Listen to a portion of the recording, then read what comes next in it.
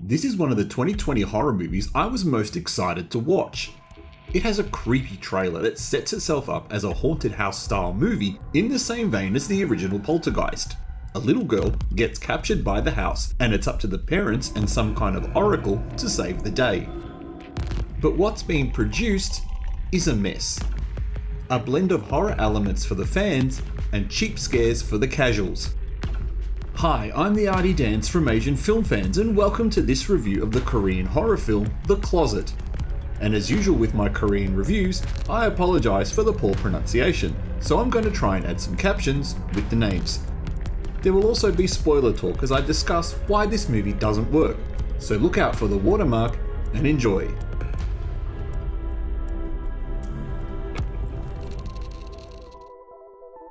The story here is quite solid, at least initially. If you're familiar with classic horror movies, this movie mixes the aforementioned poltergeist with The Exorcist, throwing in some light possession into the haunted house element. A single father, Sang Won, and his 11 year old daughter Ina move into a large house in the countryside as a form of therapy. He suffers from panic attacks after the death of his wife in a car accident, and Ina is reserved and cold. She misses her mother and resents her father, who seems to be desperate to get other people to look after her.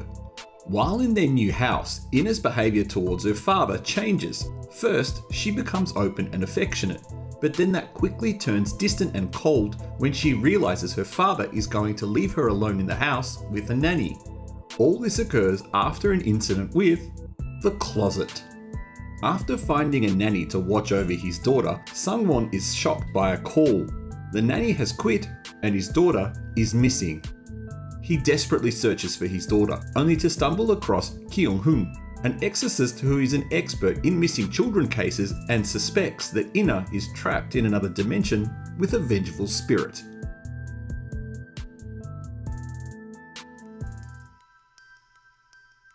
On the surface, that sounds pretty good. It's the execution of the story where it fails. If you're a lover of horror films and have been disappointed recently with all the Western output of the PG 13 type films, then this will really disappoint you as well. It does have some gore, but that's not the only reason to watch a horror film. You watch it for the unknown, the feeling of fear you can get. The sound, the music, the visuals, they're all supposed to come together. And by the books, they do here.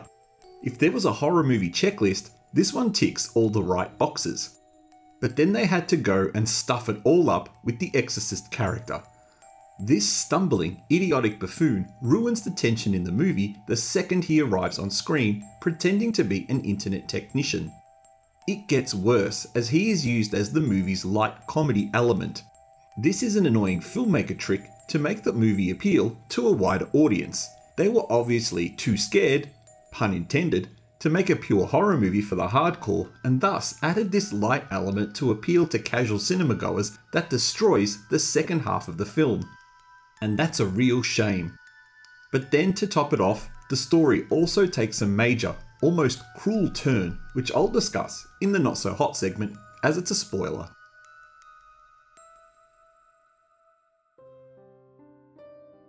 The creepy little girl makeup is fantastic, it sets the new benchmark in Asian cinema that's been the trend since Ju-on, and it works really well. Top marks to the makeup and visual effects department for their sinister and evil little creation.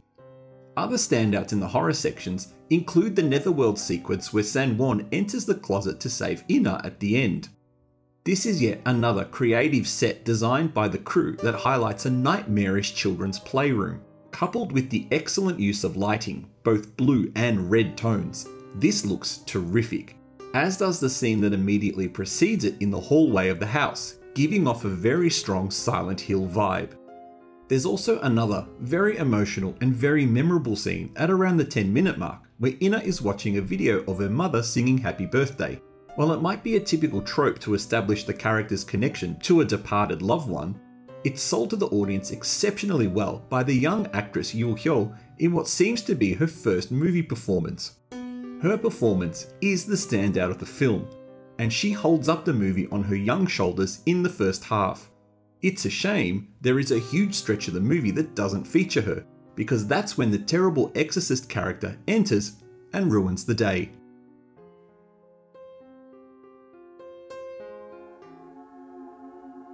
Before we head into spoiler territory where I will totally destroy the movie for you, so sorry about that in advance, there is one very annoying sequence that occurs at the beginning of the film I want to talk about. This shaky home video camera sequence.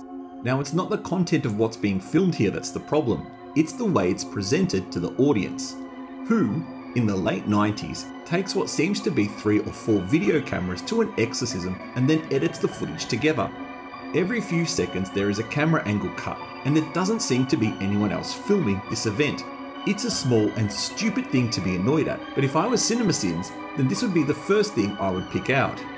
Also, it goes without saying the Exorcist character is a terrible element. If the scene of him slurping noodles doesn't want to make you punch him, then it's the stupid behaviour during the exorcism at the end that will make you cheer on his death, which unfortunately doesn't happen. Now onto the story.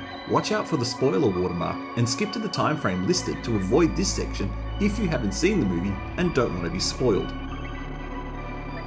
The story makes no sense and it's very badly explained to the audience. Essentially, it's the vengeful spirit of a little girl who's trapped inside a closet by her father, who then died in a house fire. Her father was in debt and didn't want to keep living, so he kills his wife and daughter, who we see begging him to let her live. At no time do we get the impression, other than this event, that he is a bad father.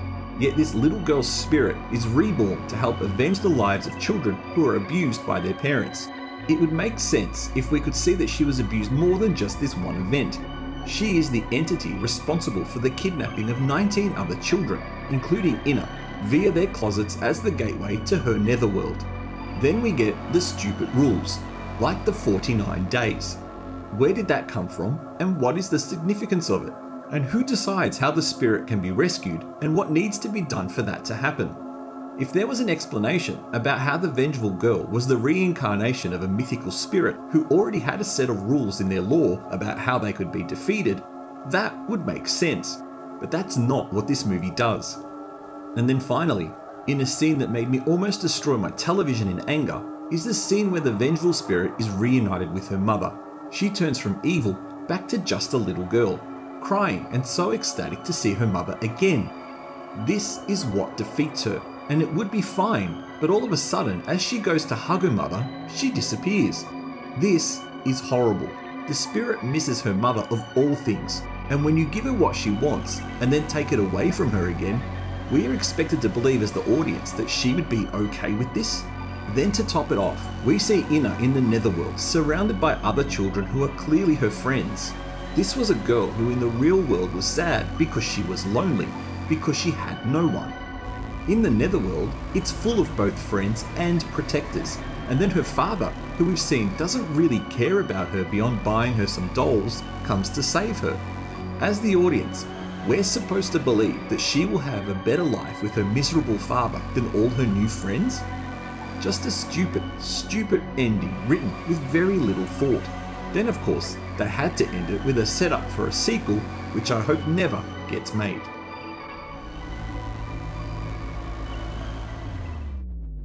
The worst part about this film isn't just the story, or the terrible exorcist character, or the lack of logic in explaining the ending. It's the fact that most casual filmgoers will watch this film and think it's an awesome horror film, which then means Hollywood will remake it. Back to the drawing board with this one, please. Rewrite it as a proper horror movie that truly is an homage to Poltergeist and The Exorcist, and not something that feels like a spin off of the tied Annabelle series. If you've seen it, what did you think? Thank you for watching this review. Please don't forget to press the like button and consider subscribing to support our channel.